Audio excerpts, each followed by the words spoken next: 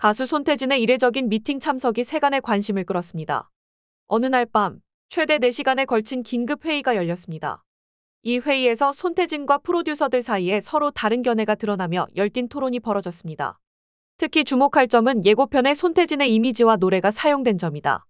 참석자들에 따르면 손태진은 TV조선과 미스트로 세매 광고 전략에 강한 불만을 표시했다.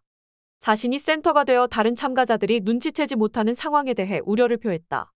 손태진은 특히 예고편을 보여주기 위해서는 새롭고 창의적인 접근 방식이 필요하다고 믿습니다.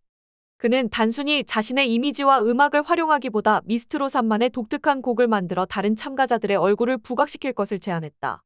그는 다양성과 우수성을 장려하는 홍보 전략이 프로그램의 형평성을 보장하고 새로운 인재를 발굴하는 데 도움이 될 것이라고 강조했습니다. 그러나 회의에서는 아무런 결론도 나오지 않았습니다. 손태진은 의견 차이를 메울 수 없어 결국 회의에서 나가기로 결정한다. 그는 자신의 견해를 굽히지 않을 것이며 자신의 권리를 옹호할 것임을 분명히 했습니다. 이 사건은 가요계 선배들의 지지를 받으며 화제가 됐다. 이들은 엔터테인먼트 산업에서 공정성과 다양성은 개인의 평판뿐만 아니라 새로운 인재 육성에도 중요하다고 강조했다. 한편 TV조선은 여론과 지역사회의 압박에 직면해 있다.